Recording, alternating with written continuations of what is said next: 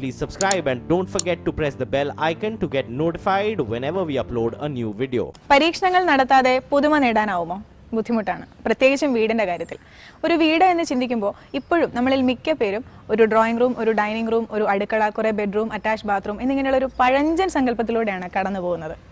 ഇതൊന്ന് പൊളിച്ചെഴുതാൻ താല്പര്യമുള്ള ഒരുപാട് ആർക്കിടെക്റ്റുമാർ നമ്മുടെ നാട്ടിലുണ്ട്.